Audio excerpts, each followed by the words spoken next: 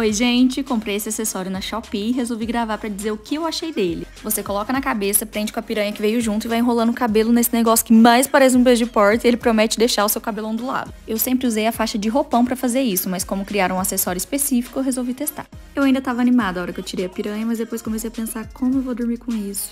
Como vamos acordar amanhã?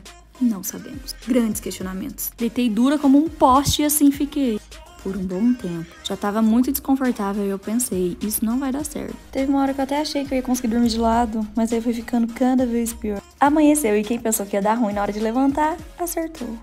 Acordei com quase todo o cabelo solto, só algumas pontas enroladas. E aí eu falei, vou tirar pra ver realmente como ficou o resultado. E ficou assim, ó, uma bosta.